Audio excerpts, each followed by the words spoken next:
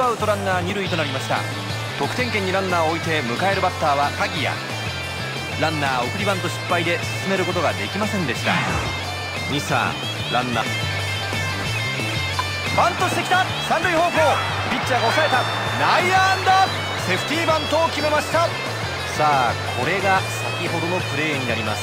ご覧いただきましょう。ワンストライクです。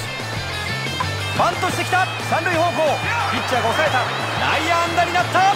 セーフティーバントを決めました。うーんこれが先ほどのプレーになります。ご覧いただきましょう。